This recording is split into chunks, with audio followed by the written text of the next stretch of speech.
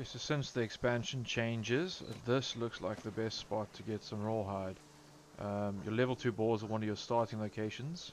Monarch's Bluff by the watchtower. So over here on the map, Monarch's Bluff, watchtower, over here. Lots of boars, really high spawn rate. Not a lot of rawhide per boar. Um, I think it's between 10 and 15. Uh, we'll take a look now. 10 and 15. There we go. 13 rawhide per ball. But the spawn rate is really good. There's tons of them around. If you just run around in circles, you pop some some proficiency boosters. Um, if you have your skinning gear, you can get quite a bit just going around and round and round in circles here. So let's give it a try. Let's see what I get.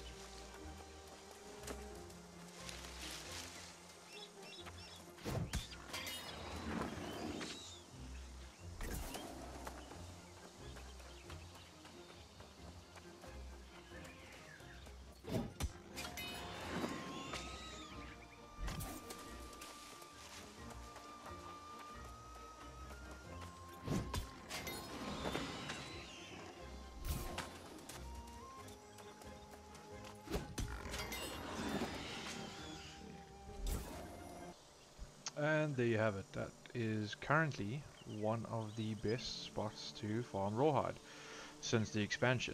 Um, with all the changes that they made, yeah, it's a bit hard to find some good rawhide spots. Um, so right now this would be one of the best places. Really good high spawn rate. Uh, not a lot of rawhide per kill, but because of the high spawn rate, you're getting around quite fast. Even with it contested, as you saw now with me running around, there's actually about two, three, sometimes four people um, contesting the space, and I still was able to run around get quite a bit.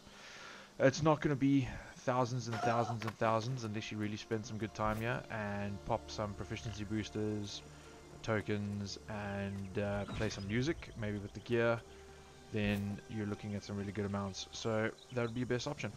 Yeah.